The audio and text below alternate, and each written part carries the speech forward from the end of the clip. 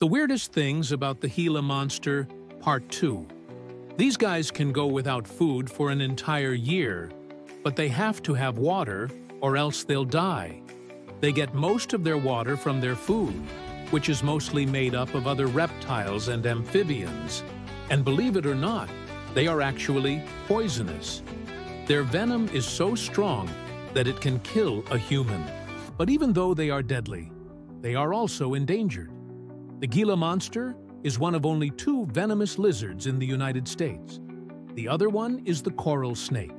But even though they are related, the Gila monster is much more poisonous.